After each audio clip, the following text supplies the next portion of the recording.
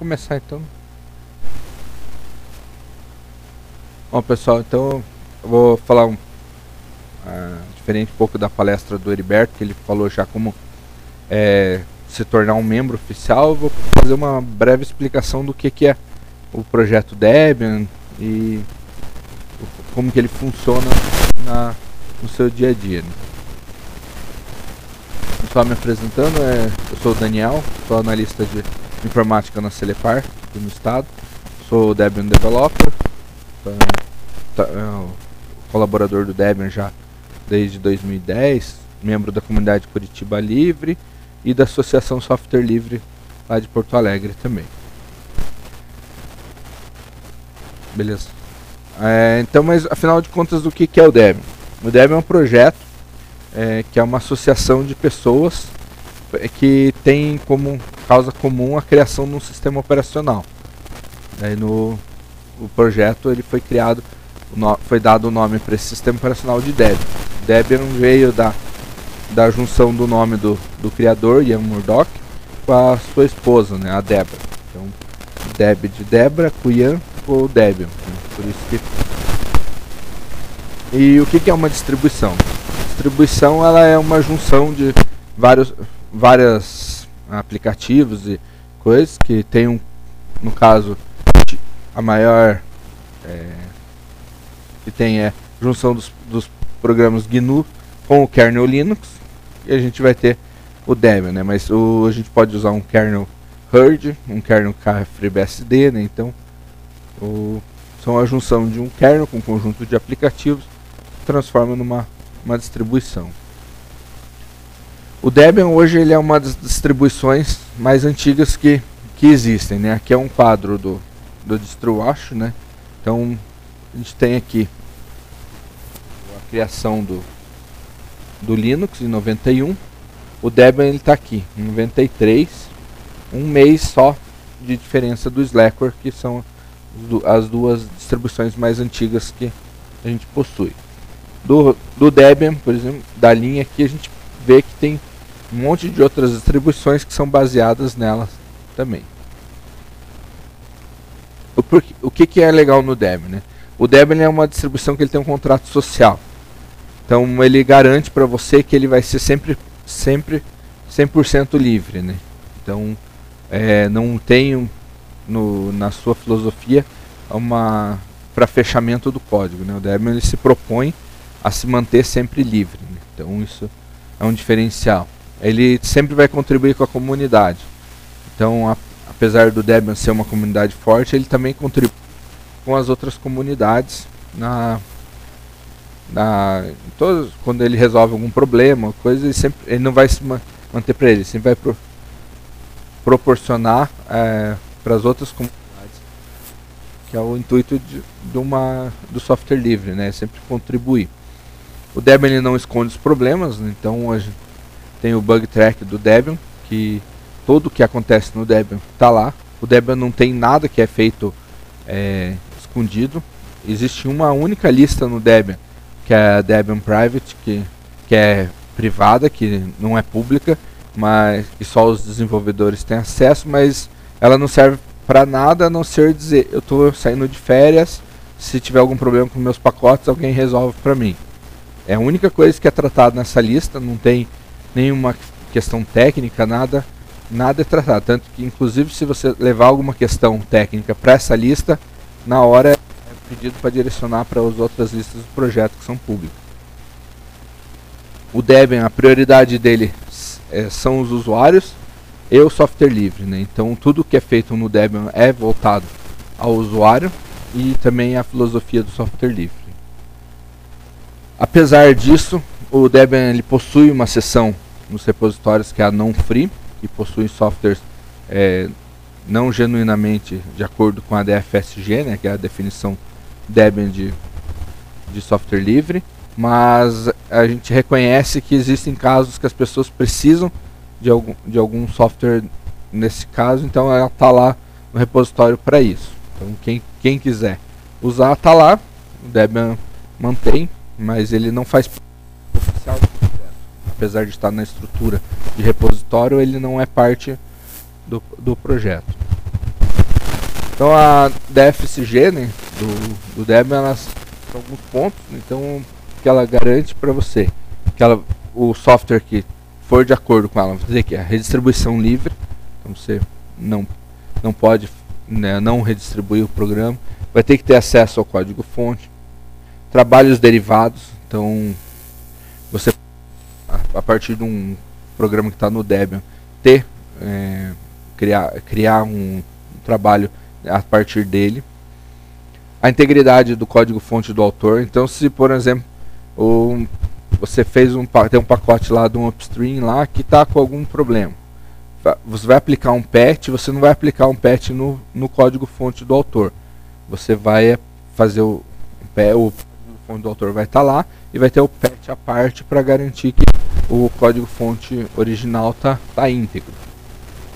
Não há discriminação contra pessoas dos grupos, né? então como o Heriberto citou aqui na palestra anterior, se alguém quiser usar no, no Estado Islâmico lá o Debian para fazer um atentado terrorista, a gente não pode discriminar. O Debian está disponível para quem quiser. Da mesma forma é a discriminação contra fins de utilização, né? então você não pode discriminar pessoas, grupos nem a distribuição da licença, né? então software livre, apesar de geralmente ele ser gratuito, ele tem uma licença também ela, a, a, a, licença tem que ser distribuída junto. Ele não pode ser web, quando um, um software ele é empacotado, ele tem que ser aberto para todo o universo, né? então você pode usar ele no Debian, derivados ou em outras distribuições e ela não pode contaminar outros softwares. Então você, se você tem um software é, X, você não pode dizer, ah, se, se eu tiver um software X, eu não posso ter Y rodando na máquina, senão ele vai dar problema. Então a licença ela tem que ser única para aquele software. E um, quais são os prós do Debian, né? O Debian ele é mantido pela própria comunidade, né? Então, os próprios quem usa que mantém ele, né? Então você está vendo as necessidades das pessoas, que são as nossas necessidades, então faz ele melhorar continuamente. Ele tem um suporte não paralelo, né? Então, através das listas de e-mails ou canais do IRC, você tem canais específicos para um para um fim, né? Então você não precisa entrar, ficar lá esperando tua resposta ser processada. Já, com isso você tem é, específico mais fácil a, a tua resposta. É, você não estaria sozinho, né? Então hoje são milhares de pessoas que utilizam o Debian. O, o Debian a gente considera que o APT é o melhor sistema de empacotamento do mundo. Né? Tem o pessoal da, da Red Hat fala que é o RPM, mas não é é o, é o apt. Hoje o Debian é super fácil de instalar, já umas duas releases que esse processo de instalação ele é super fácil. Tem melhorado cada vez mais o, o instalador. Hoje é, ele tem softwares no Debian, então uma quantidade absurda. Tem muito mais chegando, né? então bem integrados, existe todo um processo de testes no Debian para garantir que, que há uma integração entre os pacotes, que se você der um apt no, no repositório inteiro, você vai instalar ele na tua, na tua máquina e não vai ter nada quebrado. Todos os pacotes no Debian possuem o código fonte, então é uma, uma garantia que a DFSG traz. Então, se você quiser, ah, eu quero saber o que, que esse software está fazendo, você pode baixar o código fonte dele e verificar. As atualizações elas são fáceis, né? então uma vez que foi empacotado, você só dá um apt update, upgrade lá, ele vai, vai atualizar. Se você usa uma, pela interface gráfica, ele te avisa na própria interface gráfica. Múltiplas arquiteturas, né? então o Debian hoje, ele, por isso que é considerado o sistema universal, porque ele está para ser utilizado em desktop, é, é, os AMD, está em, em CISC, em ARM. Então você pode usar ele desde o, um Raspberry Pi quanto num, num IBM 390. Tem o sistema de controle de bugs, né? Então tudo no Debian é feito através de um bug. Então não necessariamente um bug é um problema. Às vezes você vai fazer um, uma tradução do, de, uma, de alguma coisa, você vai abrir um bug. Então todo, tudo controlado através de tickets de bug, que facilita uma dizer, uma transparência maior para o projeto. Né? O Debian é estável, então existe a versão estável e a versão teste, mas a, eu vou explicar um pouco mais coisa, mas ambas são bem estáveis. Os drives, a maioria são escritos pelos próprios usuários, né? então isso garante que você consiga ter um suporte desse, desse drive por muito mais tempo. Às vezes as empresas param de fornecer drives, ah, faz sete anos que eu lancei essa placa, não vou mais fornecer. Ou demora para fornecer um drive também. E o, e o sistema de segurança do Debian está bem, sempre bem atualizado. Mas nem tudo é, é maravilha, né? A gente tem alguns problemas de, é, identificados. Né? Um é falta de software popular, digamos assim. Tem o pessoal reclama, ah, eu queria usar na minha padaria, mas o sistema de RP que eu quero usar não dá. Ou ah, para um posto de gasolina o sistema não dá. Então tem alguns softwares, mas daí é, é problema dos desenvolvedores também que não portaram para não só para o Debian, né, para GNU Linux em geral. E uma o pessoal fala que o Debian é difícil de configurar, então às vezes tem algumas situações, principalmente relacionado a hardware, né? É, USB ou Bluetooth, USB não, Bluetooth, Wi-Fi, que às vezes você até encontrar o drive correto, pode ter alguma e nem todo hardware ele pode ser é, suportado. Então às vezes acabou de lançar um equipamento, pode ser que o Debian ainda não tenha suporte para ele, porque é um hardware muito novo, ou às vezes ele ficou muito obsoleto Pode ser também. Porque às vezes o kernel que você está usando, o kernel tira o suporte para aqueles hardwares.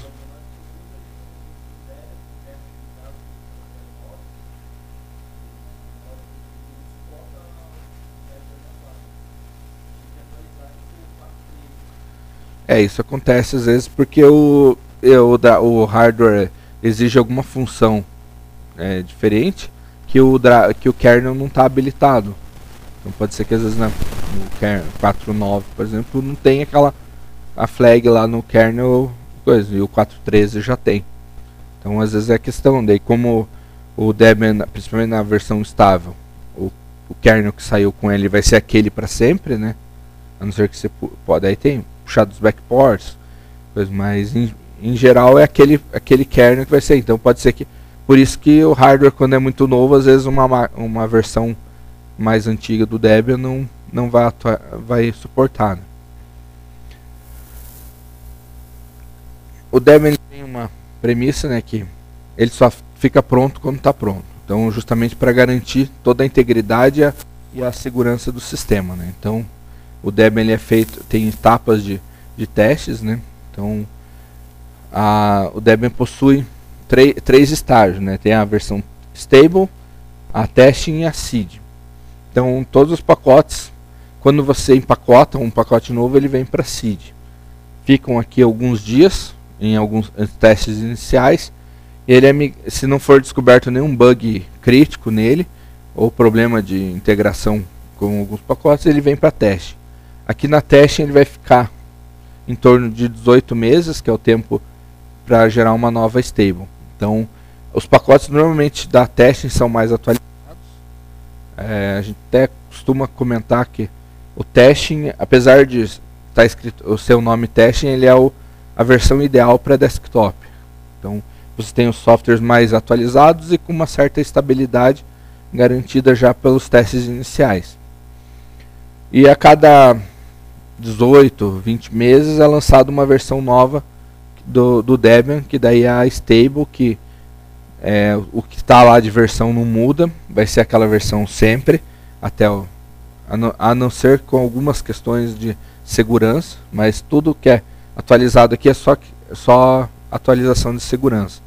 atualização de versão ela não ela só muda se a, na atualização de segurança disser essa versão não pode mais por causa do então ele precisa atualizar mas em geral vai ser aquela versão o Debian como já foi até comentado aqui ele é baseado nos personagens do Toy Story né? então atualmente a gente está com o Stretch como stable o Buster que é o cachorro vai é, o teste atual e tem o seed que é sempre o seed mesmo que é que é a versão de ele é até um acrônimo né de still in, in development então sempre em desenvolvimento e daí tem então aqui essa aqui nunca tem um codinome a não ser seed né então só, só por já trouxeram esse gráfico né a, então a gente está atualmente recentemente na na, foi lançada a Stretch, provavelmente em 2019, que é o período de 18 a 20 meses que a gente coisa vai ser lançada a versão 10. O Debian nos repositórios ele possui três seções principais, que é a main, a contrib e a non free. O Debian oficialmente ele só é isso aqui, é o main. É, todos os pacotes que estão na main são estão plenamente de acordo com a com as políticas do Debian, de software livre, tudo.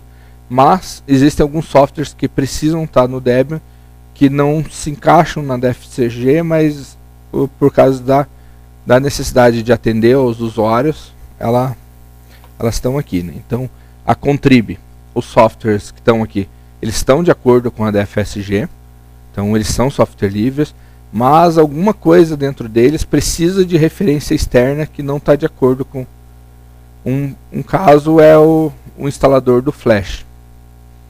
Ele tá, ele fica na Contrib, porque o instalador é, é, é livre, mas o, o que ele puxa do site da Adobe não é.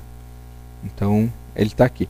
O non free, né, por exemplo, o VirtualBox hoje está na non free, porque ele ele agora precisa de um quer uma parte lá para emular as, coisas que, que não é mais free. Antes ele estava na Contrib, mas como houve uma mudança ele passou para não free. E onde que eu posso usar o Debian, né? Assim, pra, pode usar em, é, como é um sistema universal, a gente pode usar em qualquer. Então podemos usar em desktop, em servidores físicos, servidores é, na nuvem, né? Hoje o pessoal tem bastante, tem sempre o Debian está disponível também. Em servidores domésticos, né? então aqui é um, um Raspberry Pi, mas tem vários. Em celulares, existe um, um projeto dentro do Debian, é o Debian Mobile, que está para desenvolver. Não são todos os aparelhos ainda que é, que é possível, mas existe um trabalho grande sendo feito para que possa ser utilizado o Debian cada vez mais modelos, né? Inclusive na mini DebConf que teve esse ano aqui em Curitiba, o Cascardo deu uma oficina de como utilizar o Debian em dispositivos móveis. Né? E falando assim do que é o Debian, então, mas daí a gente pergunta, e como que eu posso contribuir com o Debian, né? E por quê? Né, o, o Debian ele precisa de diversidade. O Heriberto ele trouxe essa parte aqui do do mapa, né? Então esse é o mapa total mundial do, de desenvolvedores Debian. Então a gente pode observar que na América do Norte e na Europa tem a grande concentração dos desenvolvedores. Né? Então no hemisfério sul, em geral, não tem quase, são bem poucas pessoas. O que, que isso acarreta? Quando há uma, uma necessidade de tomada de decisão, é, com certeza vai, vai ser favorável a mais a quem está no, no hemisfério norte, né? porque a, o que interessa para eles, como eles estão em maioria, vai acabar sendo prevalecendo a opinião deles. Né? Então, quanto mais pessoas tiverem no projeto aqui no Brasil e no hemisfério, a, gente, a tendência é que a gente possa ter um projeto, o Debian também mais de acordo com o que a gente E ele é bom para a gente, né? Então ele pro, proporciona um aprendizado, né? Então o fato de você estar tá usando um sistema diferente, ou você ter uma aprendizagem diferente, é, você consegue acesso ao código fonte, então melhora a sua programação. É, experiência profissional, você está trabalhando num, num, dos maiores projetos de software livre do mundo, né? então você está, é, além de estar tá falando um outro idioma, que é o inglês, você conversa com pessoas, troca experiência com pessoas do mundo inteiro. Você participa de uma comunidade que é grande e participar em comunidade é, é bom para desenvolvimento pessoal, né? Você acaba criando empatia e, e outras coisas aí que, que o pessoal gosta. É divertido, então está num ambiente que com pessoas que você gosta, fazendo o que você gosta, então você acaba divertindo. Você quem gosta, de, se você programa, está programando, fazendo é, se, é o terceiro mesmo que fala, eu quero, eu, quando eu gosto de me divertir, eu vou me programar. O Heriberto vai desestressar empacotando. Então é você viaja, né? Então vai para eventos, tem a DebConf anual, que é, esse ano foi em Montreal, ano que vem é em Taiwan. A gente está querendo trazer para o Brasil, não conseguimos ainda. Mas então, ou mesmo em viagem, no, no, que ah, vou palestrar. O Heriberto veio de Brasília para cá para palestrar. A gente às vezes vai para campus, vai para o FISLE, vai para Latinoair, vai para o país inteiro. A gente viaja falando de Debian, né, que é uma coisa que a gente gosta. Qual é uma motivação que a gente tem para poder colaborar? Poder retribuir a comunidade. Então, é, uma vez eu li uma frase que assim, se você é, se alguém teve um tempo para te para tirar, para te ensinar, retribua, né? Faça o mesmo por alguém. Então, você, alguém teve o trabalho de criar um, um sistema operacional, de manter para você, então eu acho que o mínimo que a gente pode também é tentar retribuir de alguma forma, né? É aprender, então quando a gente está mexendo, a gente está sempre aprendendo coisas novas. Eu mesmo, quando eu estava fazendo a prova de desenvolvedor, eu acabei aprendendo muita coisa que eu não tinha noção no projeto, que o projeto é gigante. Então a gente acaba aprendendo muita coisa. Network, né? Então, a gente acaba conhecendo pessoa aí que você não, não faz ideia de como que você iria conhecer se não fosse participando, às vezes, de um projeto de software livre. E vai deixar apenas de utilizar, né? Passar ter um próximo nível na, na cadeia produtiva, digamos assim. Então, algum, alguns números, o Heriberto já trouxe alguns, né? Mas só Hoje a gente está com 54.188 pacotes na versão stable. O Debian possui mais de 100 idiomas. A gente tem 1.154 de Debian developers ao todo, 23 brasileiros, que morando, morando no Brasil. Né? Membros oficiais, é, DM, a gente tem 239. Colaboradores que, que de alguma forma contribuíram para o Debian que não são DDs nem DMs nos últimos 12 meses, 1332. E desde 1993, que foram os, a fundação do Debian, 5.885 pessoas já, já contribuíram para o maior projeto de software livre. Né?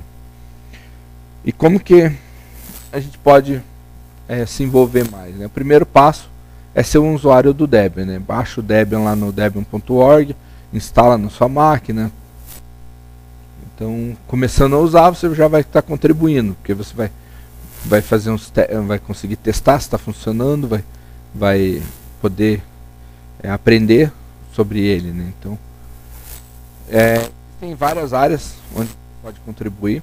Então, usar é uma, ajudar os usuários ou, ou promover o Debian. Né? Então, às vezes, só o fato de você ter uma um usar uma camiseta ou falar sobre o Debian. Ah, o que, que você usa? Ah, eu uso o Debian. Mas por que, que você usa o Debian? Então, isso é uma forma de promover o projeto. Ajudar na documentação.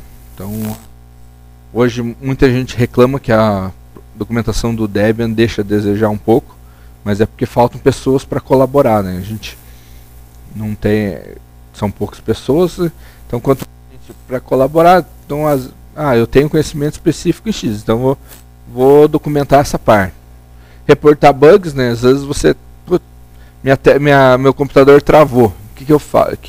Como que eu, eu resolvi de tal forma ou não sei resolver?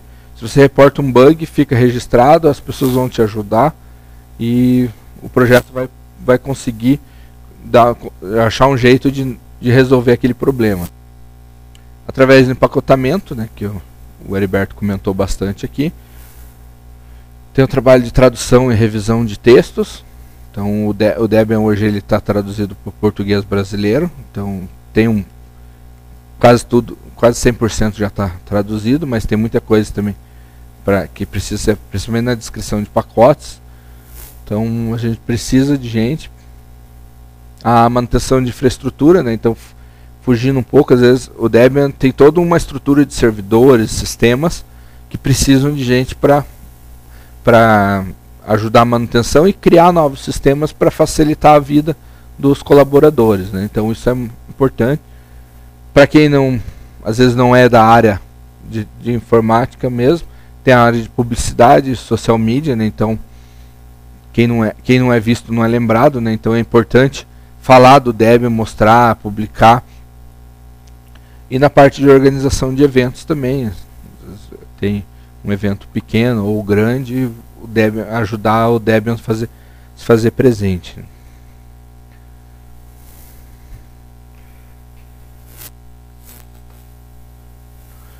Então, uma forma de, de começar, né, é escolher uma das áreas eh, que você mais possa ter afinidade e começar a contribuir. Né? É, procurar o canal de comunicação relativo àquele, àquela área. Então, você é tradução, procurar o a equipe de tradução, se empacotamento, pessoal de, de empacotamento, se de infraestrutura, falar com o time de infraestrutura. Pedir ajuda, todo mundo já começou de alguma forma, né? então ninguém vai negar a informação. E, e, e, depois que você tiver alguma informação, procure ajudar também, porque por mais simples que seja, uma ajuda sempre é bem-vinda, né, para quem. Então, e nunca e não desista também. Então,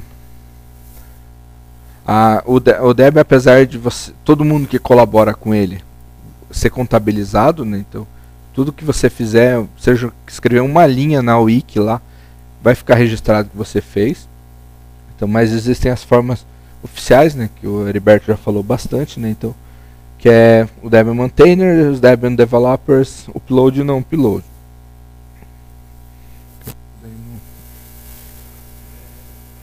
Então, os canais oficiais do Debian são as listas de discussões, então listas.debian.org Lá tem mais de umas cento e poucas listas. Brasileira deve ter umas 30. Então tem, tem bastante opções lá. Então, de tudo que você tem de documentação, tem de tradução, de empacotamento, de, de desenvolvimento, de daí ou você, se você quiser só específico do Gnome, específico do, do XFCE, do então tem o IRC, então quase todas as listas de discussões tem uma referência na, num canal do IRC e tem as páginas da Wiki, né, que tem a, informações é, relativas a, a, vários processos. No site oficial do Debian, debian.org. No Brasil a gente tem um, um blog, debianbrasil.org também. A lista principal de usuário no Brasil é a Debian User Português e o canal Debian BR no IRC. Né? Esses são os principais contatos da, da comunidade brasileira. Né? Então, é, basicamente o que eu tinha para apresentar é isso. Né? Se alguém tiver alguma dúvida, vai ficar aí durante o evento o tempo inteiro ou quiser perguntar, tem, tem bastante tempo ainda. Sim, está tá,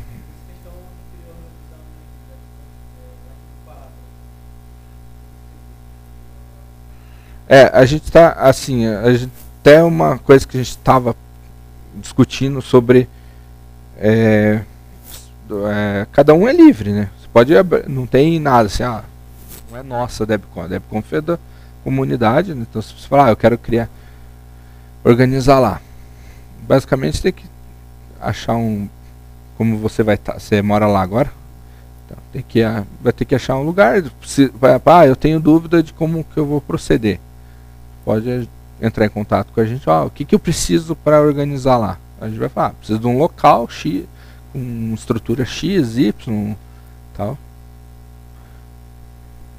Daí a gente vai.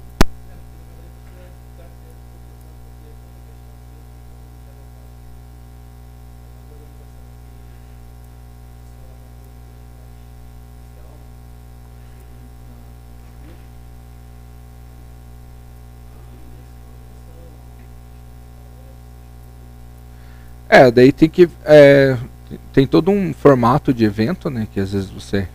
Que, ah, ah, eu quero só palestra, eu quero é, mini curso, eu quero só é, bug, é, caça bug.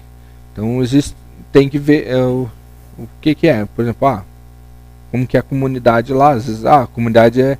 Não tem, não tem. Pode ser, ah, não tem uma comunidade formada ou tem poucas pessoas. Talvez é, inserir palestras de apresentação do projeto, todo é mais interessante. Ou ah, já tem um pessoal mais técnico, então colocar algumas oficinas. Então. Mas. Daí tem que ver. Mas assim, a questão é. Questão de acertar, mas isso aí é, é interessante, porque que nem a gente acaba fazendo bastante aqui em Curitiba porque não tem outro lugar pra já até esse ano a gente tinha falado que não ia fazer aqui. Ano 2018, né? Falava, ah, vamos procurar outra cidade para fazer. Mas perguntamos para um monte de gente. Ah.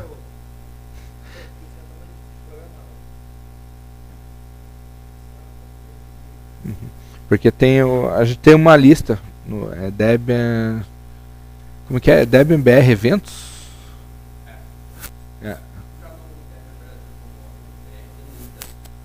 Daí tem uma, tem uma lista exclusiva para organização de eventos no Debian. Que lá a gente, quando a gente fala, trata, daí com, é, o pessoal comenta lá.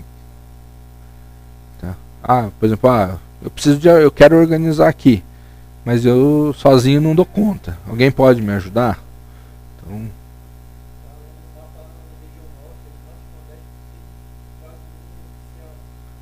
não, acho que não. Até tem o Lucas, que é um que às vezes vem para uns eventos para cá. Ele não, ele tá, até acho que ele ia fazer para DM e acabou não fazendo. Mas é também esses tempos alguém perguntou no, no IRC se tinha alguém no Amazonas lá. É bem é lá, daí até olhou no, na região norte quase não tem ninguém, né? Acho que se, se é que tem alguém para é porque ali às vezes o mapa não reflete bem, porque às vezes a pessoa não coloca a coordenada que ele tá, né? Não...